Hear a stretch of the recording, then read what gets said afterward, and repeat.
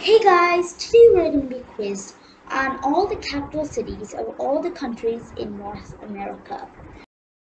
We don't have a blindfold, so I'll be facing this wall.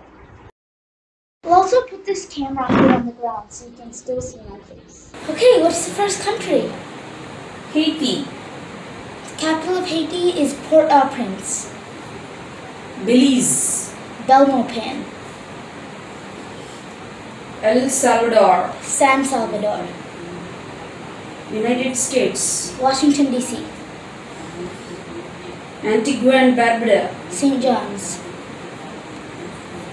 Saint Lucia, Castries, Canada, Ottawa, Honduras, Tegucigalpa, Nicaragua, Managua, Bahamas, Nassau, Cuba, Havana, Trinidad and Tobago, Port of Spain, Jamaica, Kingston, Dominican Republic, Santo Domingo, Mexico, Mexico City. Saint Vincent and the Grenadines, That is Kingstown, Dominica, Roseau,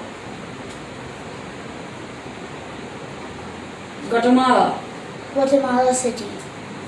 Saint Kitts and Nevis, That is going to be uh, Basseterre, Barbados, Bridgetown,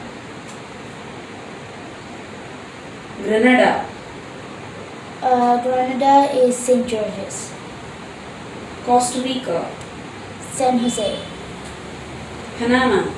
Panama City.